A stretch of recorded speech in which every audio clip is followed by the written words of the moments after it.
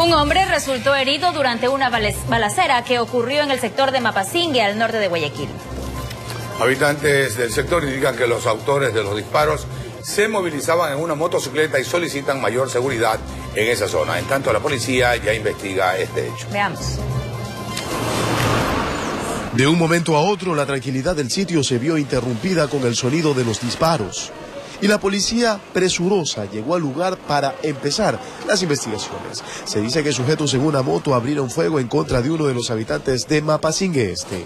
Al llegar al lugar pudimos evidenciar que se trataba de un cuerpo que se encontraba sobre la, sobre la calzada.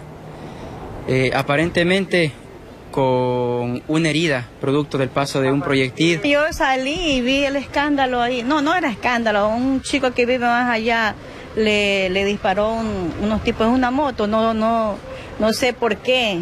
Los moradores nunca imaginaron que hechos como este se dieran en la zona. Según los agentes del orden, indagan quiénes habrían disparado.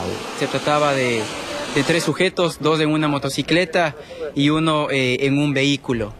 Los dos sujetos que se trasladaban en la motocicleta habían estado armados con un arma de fuego tipo revólver.